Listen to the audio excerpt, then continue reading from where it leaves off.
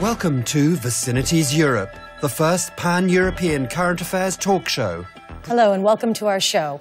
We've gathered guests from different countries and backgrounds to talk about the issues that are important to the people of Europe. We're calling this edition of the show Quo Vadis Europe, as we'll be asking our guests their opinions about the future of the European idea and its values. I think the need, maybe not for a, a, treaty change, but to kind of reconceptualize the European Union is going to become more pertinent. A headline saying the end of Schengen. And that's another example how uh, general European topics are not communicated in the correct way. What is Europe?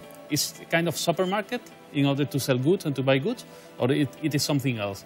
The EU, for me, was always a project about values.